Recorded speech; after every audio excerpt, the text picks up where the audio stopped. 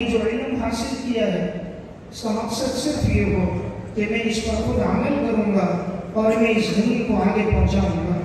नबी अकरम सल्लल्लाहु अलैहि वसल्लम ने इशाद फरमाया, मन तअल्लम इल्मन मिम्मा युब्तगा बिहि वजहुल्लाहि अज़्ज़ा वजल ला यतअल्लमुहु इल्ला लियुसीब बिहि हरजन मिन दुनिया, लम यजिद अफ़ल जन्नति यौमल क़ियामा।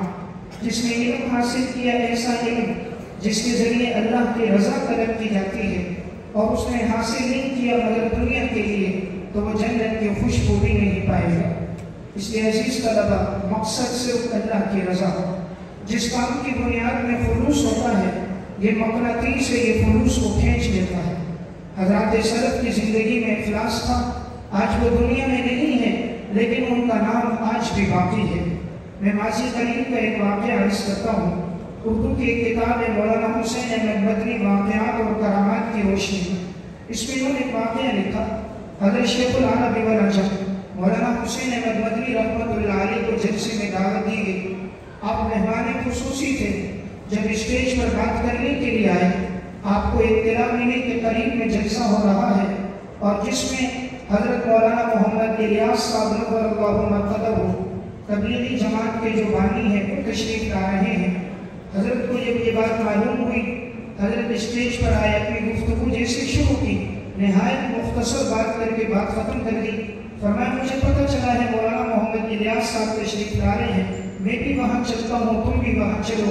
जैसा वहाँ ख़त्म कर दिया, हज़रत वहाँ की तरफ़ चल पड़े। हज़रत मौलाना मोहम्मद इलियास साहब अहमद जब स्टेज पर बात करने आए, उन्हें पता चला, शेखुल आलम इमर आशा हज़रत मौलाना हुसैन अहमद मदरी नंबर अल्लाह मरकदा हज़रत गुफ्तु के लिए आ रहे हैं। हज़रत ने अपनी बात में ख़त्म कर दी। फरमाया, हम सब चलते हैं, वहाँ उनकी बात सुनते हैं।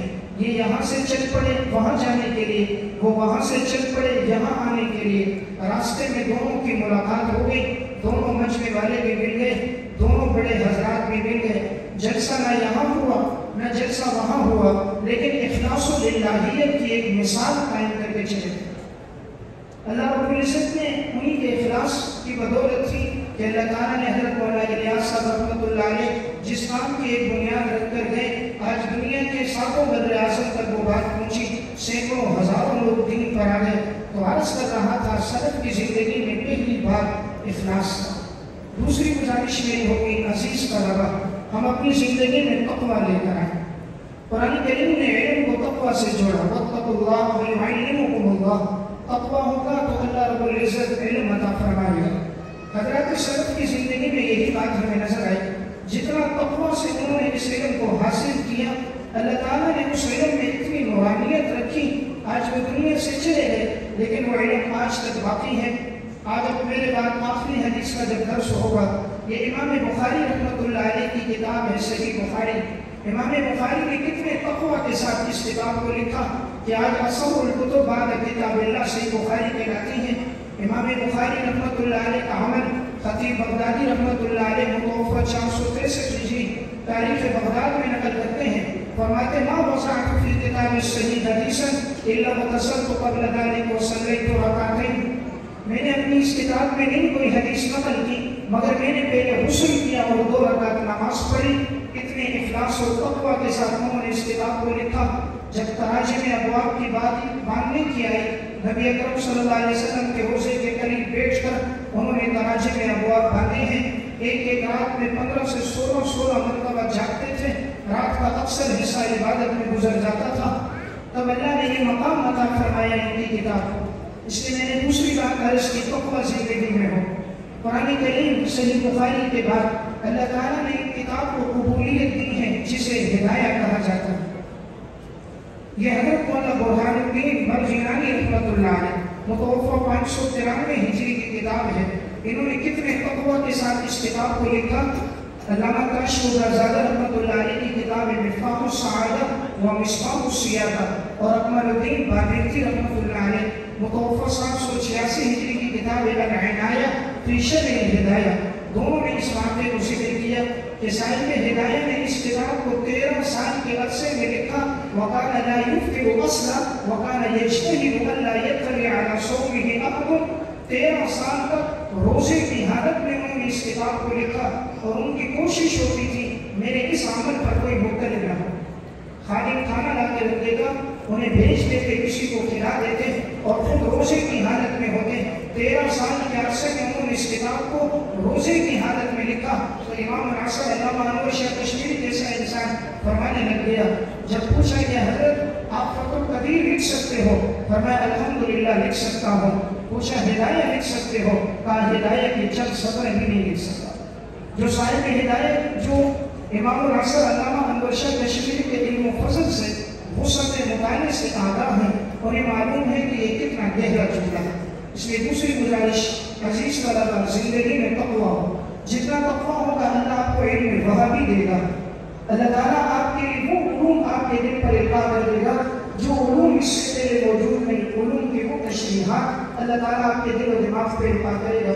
शेखुल इस्लाम, अल्लाह का इतनी इबन तैमी रहमत मुतवा सात सौ अट्ठाईस इनके हालात पर इनके शायद अल्लाह इबन अबुल हाकि हमर किताब है अलरूबुर्रिया में मनाक के शेख इस्लाम अहमद इब्न तैमिया इसमें उन्होंने लिखा कि हमारे उस्ताद अल्लामा इब्न तैमिया फरमाते हैं तुमको अधम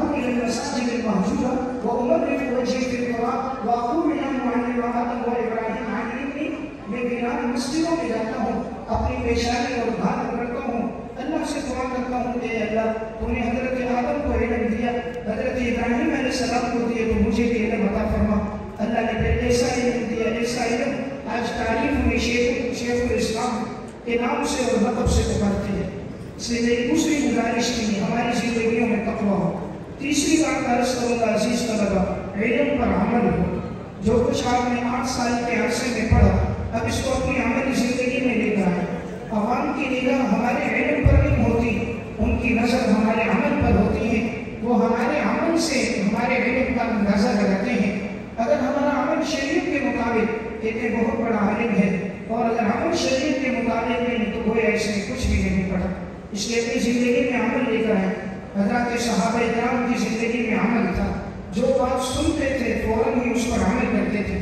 इमाम बुखारी रहमतुल्लाह अलैह को ऊपर दो सौ छप्पन हिजरी में सही बुखारी में तीन वाक़ात नकल किए। उनमें एक वाक्य था हज़रत उम्र हबीबा रज़ी अल्लाह का। इसके बाद तो सुफियान का इंतकाल हो गया। इन्हें खबर मिली, तीन दिन तक तो ये शहादत में रही। चौथे दिन इन्होंने खुशबू मंगाई खुशबू लगाई, अपना लिबास तो तब्दील किया। फिर फरमाने लगे, मुझे खुशबू की हाजत नहीं थी, लेकिन मैंने इसलिए मंगाई कि मैंने आप सल्लाम से सुना है कि किसी का शोक मनाना जायज़ नहीं, तीन दिन से ज़्यादा। सिवाय शुगर के जब उसका इंतकाल हो जाए तो उसका शोक चार महीने के दस दिन होता है तो तीन दिन के बाद मैंने अपनी हालत को हज़रत जैनब इब्न जहाश के भाई का इंतकाल हुआ। हज़रत उम्मे आफिया के बेटे का इंतकाल हुआ। उनका भी यही अमल था। तीन दिन के बाद उन्होंने खुशबू लगाकर अपने जिसम पर कपड़ों पर सिर्फ़ इसके ताकि वो शोक की हालत बाकी न रहे। तो मैं अर्ज़ ये कर रहा था, अज़ीज़ तलबा तीसरी गुजारिश अपनी ज़िंदगी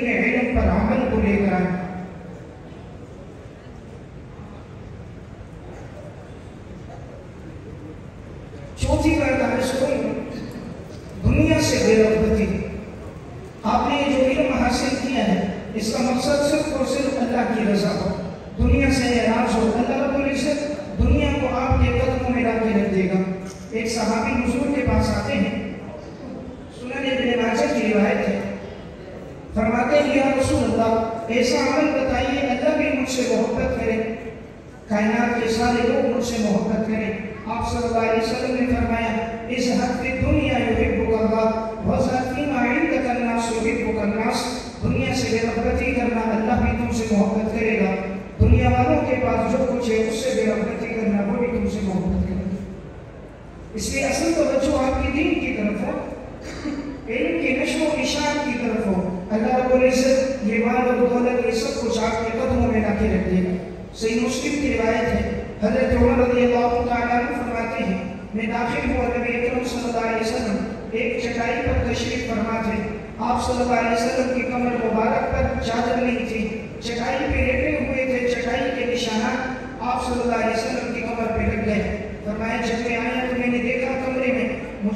एक अच्छा चमड़ा लटकता हुआ नज़र आया। एक मशकीजा नज़र आया। बाकी घर में कुछ भी नहीं था। और आप जिस चटाई पे थे, उस पे कलाई भी डली हुई नहीं थी। आपके जिसम पर चटाई के निशानात थे। हज़रत उमर की आँखों से आँसू बहने लगे। आपने पूछा, उमर, क्यों रो रहे हो? फरमाया, या रसूल अल्लाह क्या हम हक पर नहीं? फरमाया, हक पर है। तायमून और फारिस के बादशाहों को तो अल्लाह ने इतना आता फरमा दिया। लेकिन आज हमारे पास यहाँ कुछ नहीं। आप सल्लल्लाहु अलैहि वसल्लम ने उस मौके पर एक जुमला कहा, फरमाया या इब्न खत्ताब, अला तरदा, अन तकून लना अल-आखिरह व लहुम दुनिया। ए खत्ताब के बेटे, तू इस पे राज़ी नहीं? अल्लाह ने हमारे लिए आखिरत को रखा है, इनके लिए दुनिया को रखा इसलिए अल्लाह ताला ने आखिरत को रखा, आखिरत को मकसद बनाया। अल्लाह ताला दुनिया को आपके कदमों में लाके रख देगा। पांचवी गुजारिश है दोस्तों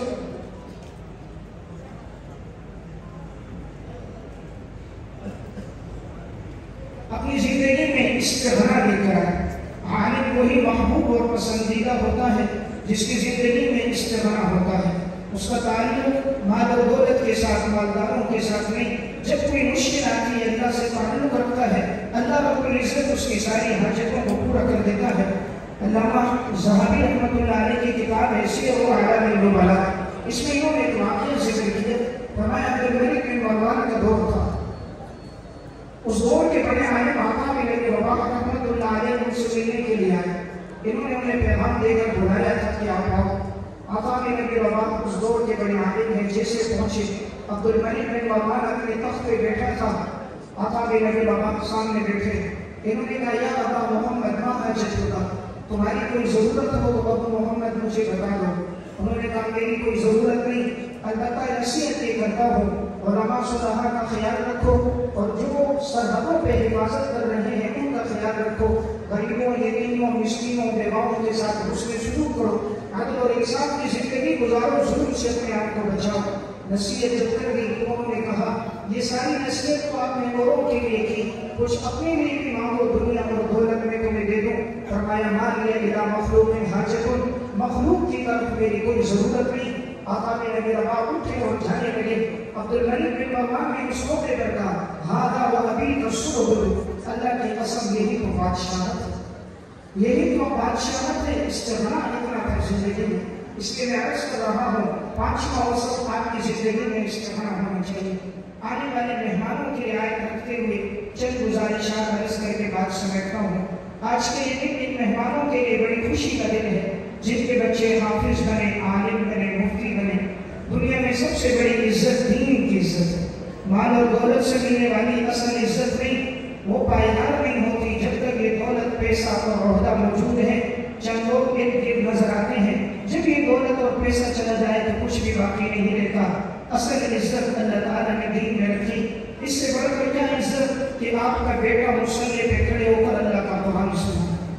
इससे बढ़कर दुनिया में क्या इज़्ज़त आपका बेटा मिंबर पर बैठकर अल्लाह और अल्लाह के रसूल के उम्मत को बदला है इससे बढ़कर क्या मकाम? आपका बेटा जुम्मे और ईदेन की नमाज़ पढ़ाता है। जब तक अल्लाह अकबर नहीं कहता पंद्रह सौ दो हज़ार नमाजी अल्लाह अकबर नहीं कह सकते। जब तक वो नहीं कहता कोई नमाज़ से निकल नहीं सकता। इससे बढ़कर दुनिया में कोई इज़्ज़त नहीं। तो असल इज़्ज़त अल्लाह ताला ने दीन में रखी है। इमाम मुस्लिम रहमतुल्लाह अलैह ने एक वाक़या से मुस्लिम में नकल किया। हज़रत उमर रज़ियल्लाहु तआला अन्हु का दौरे खिलाफत है। हज़रत उमर उस्मान शहर में गए वहाँ पर इनकी मुलाकात नाफिअ बिन अब्दुल हारिस से हुई। हज़रत उमर ने इनको मक्का का गवर्नर बनाया था। पूछा, मैंने तो तुम्हें मक्का का गवर्नर बनाया, तुम यहाँ घूम रहे हो? पर मैं हज़रत में किसी ज़रूरत के लिए आया हूँ। तो अपना नायब किसको बनाया? तालिब ने अफसर को अपना नायब बनाया। कहा, वो कौन है? कहा हमारे आज़ाद करदा गुलामों में से गुलाम है। कहा तुमने अपने गुलाम को अपना नायब मुकर कर दिया।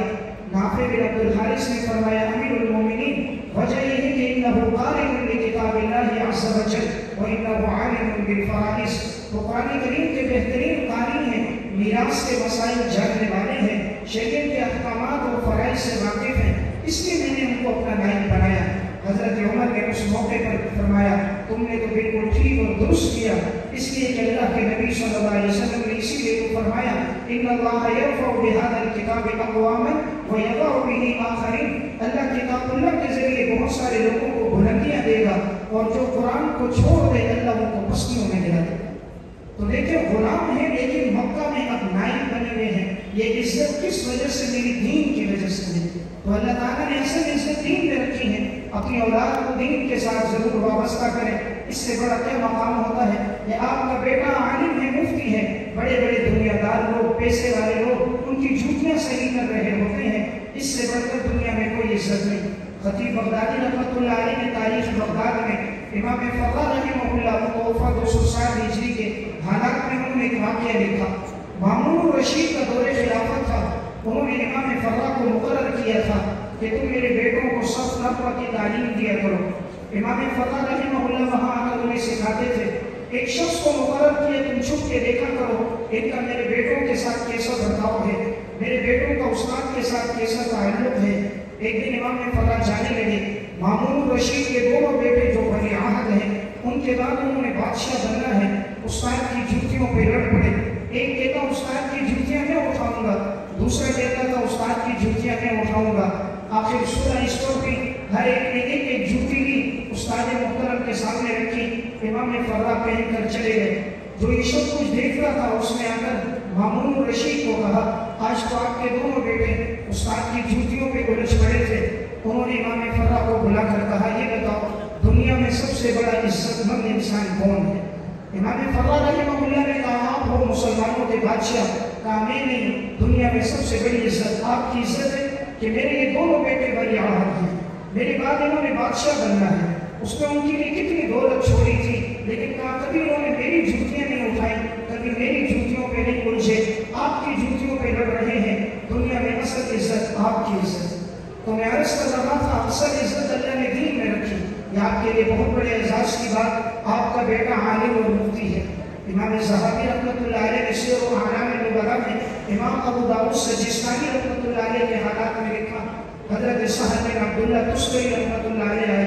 इमाम अबू दाऊद से कहने लगे, अखरिज इलैया लिसानका, अल्लज़ी तुहद्दिसु बिही अहादीस रसूलिल्लाह सल्लल्लाहु अलैहि वसल्लम, हत्ता उकब्बिलहु, आप अपनी वो जबान बाहर निकालो, जिस जबान के ज़रिए आप नबी अकरम सल्लल्लाहु अलैहि वसल्लम की हदीसें बयान करते हो, ताकि मैं आपकी जबान को बोसा दे दूँ। इमाम अबू दाऊद ने अपनी जबान निकाली और उस मौके पर साहब बिन अब्दुल्लाह तुस्करी रहमतुल्लाह अलैह आगे बढ़े और उनकी जबान को बोसा दी। मैं अर्ज़ कर रहा था, असल इज़्ज़त दीन की है अल्लाह कय्यिम रहमतुल्लाह अलैह। मिफ्ताह दार सआदा में लिखते हैं, हारून रशीद से किसी ने पूछा, दुनिया में सबसे बड़ा मकाम किसका? फरमाया, उलमा का। मुहद्दिसीन का मकाम बुलंद, का आपका मकाम नहीं है? कहा नहीं उनका मकाम बुलंद है? लिअन्न इस्महु मुख्तरिन बिस्म रसूलिल्लाह सल्लल्लाहु अलैहि वसल्लम, वला यमूतु अबदा। उनका नाम हुजूर के नाम के साथ मिला हुआ है। सनद बयान होती है हदसना फलाने, नाम फलाने, उनका नाम सनद में आता है। आगे जाकर नबी अकरम सल्लल्लाहु अलैहि वसल्लम का इरशाद आता है। ना हम मर जाएँगे, मिट जाएँगे, उलमा बाकी रहेंगे, जब तक दीन बाकी है, ये लोग भी बाकी। इसलिए अल्लाह ने असल इज़्ज़त दीन में रखी। आज वो वाले दिन उनकी आँखें ठंडी होंगी, जिनके बच्चों ने पुराने करीम के हाफिज बने हालिम बने और मुफ्ती बने। अल्लाह ताला ने इबादत रहमान की जो तेरह सौ बयान की उनमें आखिरी औसफ क्या है? वल्लदी वल्लदीन यकुलून रब्बना हब लना मिन अज़वाजिना व ज़ुर्रिय्यातिना कुर्रता अय्युन वज'अलना लिलमुत्तक़ीन इमामा। या अल्लाह हमें ऐसी औलाद और ऐसी बीवियाँ अता फरमा जो हमारी आँखों की ठंडक बन जाए। इंसान जब खुश होता है तो खुशी में भी होता है। ये कितनी बड़ी खुशी की बात होती है। मैं एक वाक्य आरज करके बात समझता हूँ। आज से दो साल पहले एक जगह आखिरी हदीस से दर्ज देने का मुझे मौका मिला।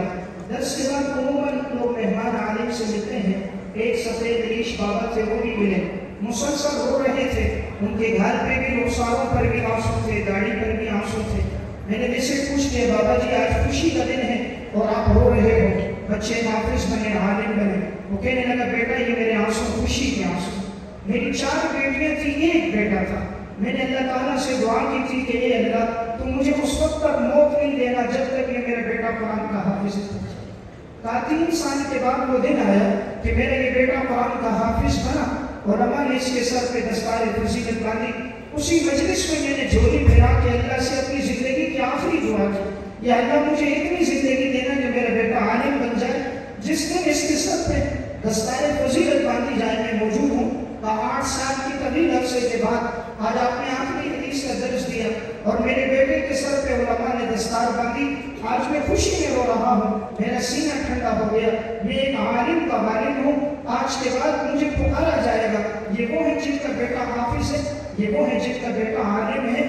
आज जिन बच्चों के सरों पे दस्तार बांधी जाएगी, आज उन वालिदैन की आँखें ठंडी हो जाएँगी। आज उन वालों के वालिद का सीना खुशी की वजह से फूल रहा होगा।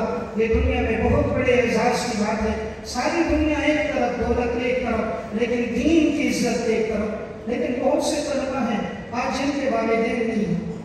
तखसूस के हमारे यहाँ के तालब इल्म है। दो दिन पहले वो मेरे पास मस्जिद में आया मुझे कहने लगे, उस्ताद जी, वो बात कर रहे थे, हो रहे थे। कहने लगे, उस्ताद जी, कल मेरी दावत होगी, आप शिरकत ज़रूर करना। इसलिए कि मेरा वालिद भी नहीं है, मेरी वालदा भी नहीं छः साल की उम्र में मेरे वालिद का इंतकाल हुआ। नौ साल की उम्र में मेरी वालदा का इंतकाल हुआ। तीन साल मामू ने रखा, फिर मदरसे में दाखिल कर दिया। हाफिज भी बना आलिम भी बना। कहा, सब तलबा के मेहमान आएँगे। किसी का वालिद होगा, किसी का चचा होगा, किसी के भाई होंगे। मेरा कोई भी नहीं होगा उसका जी आप मुझसे मिलना। और मुस्तबिल में जब मैं कभी फ़ोन करूँ, हमारी रहनुमाई करना।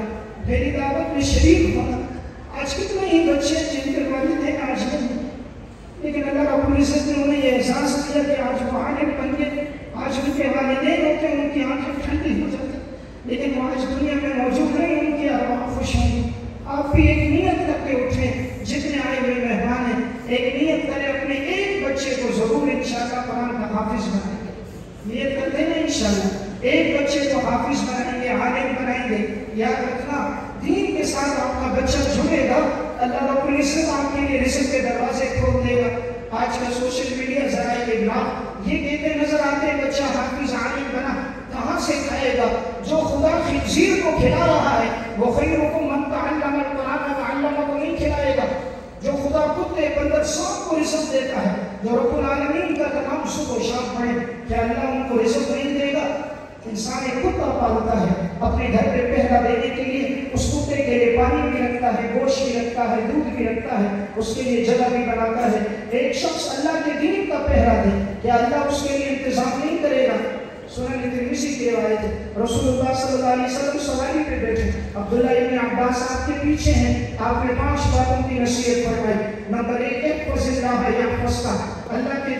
हिफाजत करना अल्लाह तुम्हारी हिफाजत करेगा। अल्लाह के दीन की हिफाजत करना अल्लाह तुम्हारी हिफाजत करेगा। नंबर दो, एक फजीला तजीब हो तो चाह अल्लाह के दीन की हिफाजत करना अल्लाह को हमेशा अपने सामने पाओ। नंबर तीन इरासा फसल्ला जब मांगना हो सिर्फ़ अल्लाह से मांगना। नंबर चार वालम अन उम्मत इज्तमा। अला अन यनफऊक बिशै लम यनफऊक बिशै इल्ला मा कद कतब अल्लाह लक। सारी उम्मत जमा हो जाए, तुम्हें नफा पहुँचाए। नहीं नफा पहुँचा सकती जब तक तेरे अल्लाह का हुक्म ना हो।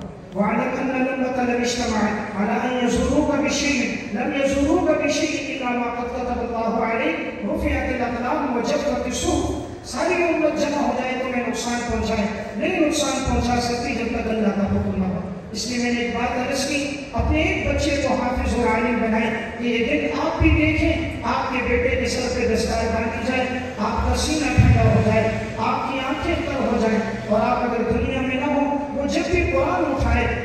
ईसारे सवाब करता रहे और आपकी कब्र आपके लिए जन्नत का भाग बन जाए। मैं एक जुमला कहता हूँ, देखिए यतीम वो नहीं जिसके माँ बाप में यतीम आदत, हकीकत वो जो दुनिया से चला जाए और उसका ईसारे सवाब करने वाला कोई ना हो। दुनिया से चला जाए, कोई औलाद हाथ उठाकर दुआ करने वाली ना हो औलाद को हाफिज आलिम बनाएँगे। आप दुनिया में नहीं होंगे, बच्चा जब के कुरान पढ़ेगा आपको ईसारे सवाब करेगा सवाब का एक सिलसिला आपके लिए जारी होगा आपकी कब्र आपके लिए जन्नत का भाग बन जाएगी अल्लाह हम सबको आमिर की तौफीक अता फरमाए वाफिर दावाना अल्हम्दुलिल्लाह